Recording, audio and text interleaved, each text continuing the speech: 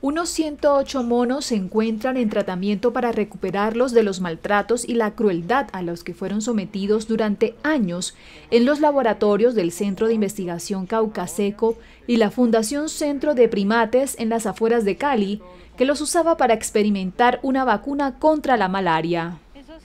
Cuando fueron rescatados de las jaulas, algunos no tenían ojos, otros estaban sin falanges en sus dedos o con huesos rotos, varios sufrían de alopecia, tenían dientes partidos o con sarro y todos estaban llenos de parásitos.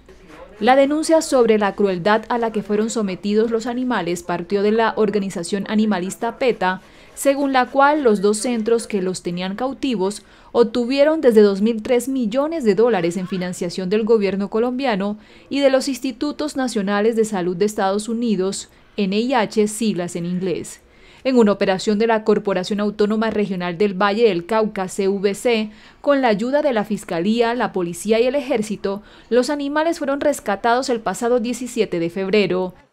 Ese día fueron trasladados al Centro de Atención y Valoración de Fauna Silvestre San Emigdio, un santuario de 14 hectáreas donde 23 profesionales se encargan de cuidarlos para que recuperen la salud.